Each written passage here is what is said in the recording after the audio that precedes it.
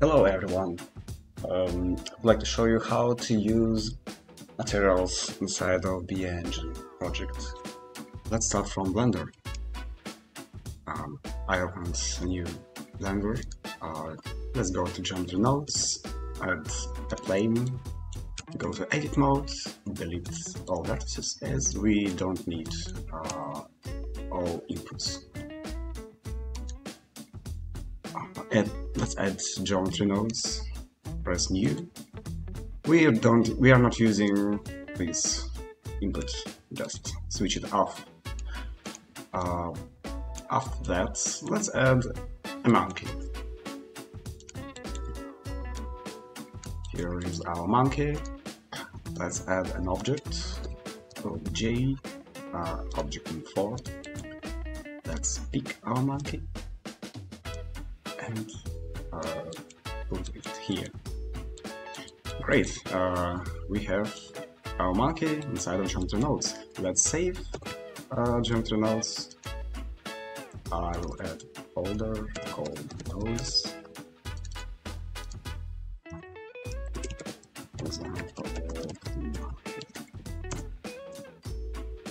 Let's get back to Unity. Uh, right click and create empty object. Um, I will remove our position. Okay, and let's add a BEngine component. You can type BE and you can select the BEngine component. Um, an orange orange sphere will appear. Let's just move it up a bit and small. That's small. That's just for selection. A very useful thing. Alright, um, let's add our Blender file here. Uh, and just drag and drop it. And we need to update nodes, so that we could get information from Blender. Press update nodes. If you select this folder and press Ctrl R, uh, you will see that um, a new JSON file has appeared. Uh, we need this for geometry inputs, so on. Just letting you know. Alright, um, now press Run Nodes. And here we are. Here's our monkey, but it has no materials. We need to add one. Uh, go to Output and uh, press plus. Here we can add our, our material. Um, I will just add one.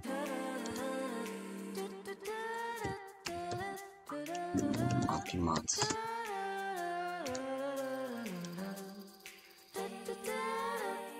Drag and drop here and run nodes again. And here we are. We have a material. Alright, uh, what if we have more than one object? Let's add another one object and let's uh, add, say, a cylinder.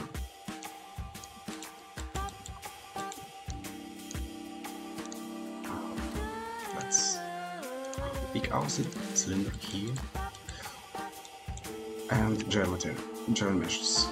Mm.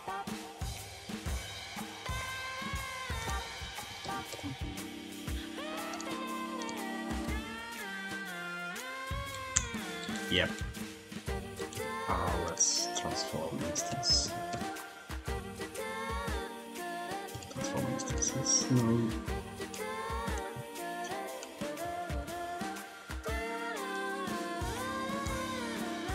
Hmm. Strange. It should work. Ah, probably we need to press as as an instance as instance. Alright, we have uh, basically two instances now, because I checked these guys on. Uh, let's save, and go back, run nodes, and we have our monkey and a cylinder. Uh, what if we want a cylinder to be uh, with a different material? Uh, let's press plus um, add another one material, uh, we can just copy and paste it.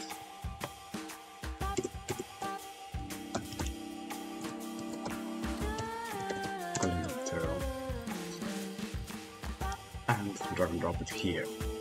If you run nodes, nothing will happen. We need to specify uh, which material mesh should use.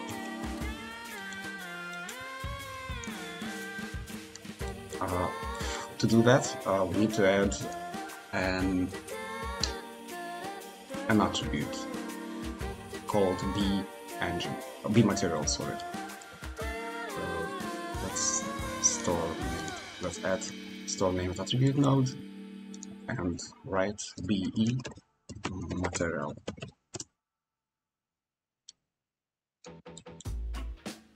Uh, type should be integer and uh, domain should be face. Also, you can set a color to this node because this is a BEngine node. This is not, this doesn't belong to geometry nodes attribute. Alright, uh, we have integer set to 0 and this node will have 1. Let's save and go back. 8 nodes and we have not we don't see difference because they have the same materials but yeah now they have different materials